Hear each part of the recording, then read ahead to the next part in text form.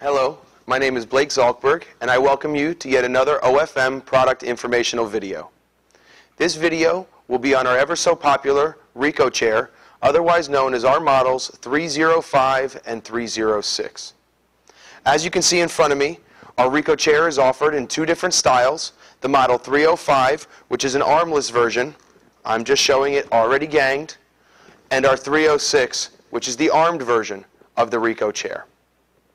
What you'll first notice is a wide variety of bright colors, in addition to a great design.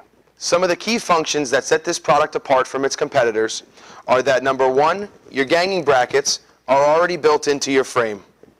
Allows for easily creating straight lines for those large group environments. In addition to, what has been created with the Rico chair is a special foot glide that as you can see when stacked helps prevent the frames from scratching one another. This not only allows from the frames scratching one another, but it also allows the stacks to go straight up and not start to lean forward, potentially causing injury. So our 305, our armless Rico chair, is a stackable chair, fully polypropylene, seat and back, nice key design features, armless. When you get to the armed version, one of the key features that you do lose is your ganging bracket built in. Because where your arms are is where your ganging bracket goes. So you do lose your ganging functionality. We do offer an optional ganging bracket with the Model 306.